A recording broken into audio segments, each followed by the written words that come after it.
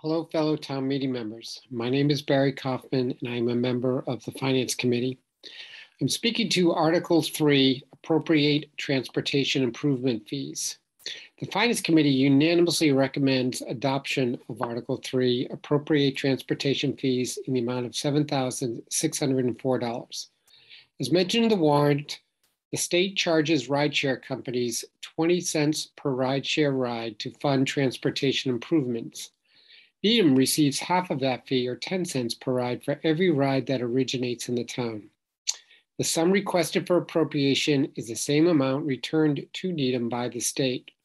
For fiscal 21, the town received $70,604, which is a 65% decrease from fiscal 20 due to significantly reduced rideshare activity as a result of COVID. These funds will be allocated to pedestrian and bike safety initiatives. Thank you, Mr. Moderator and fellow town meeting members.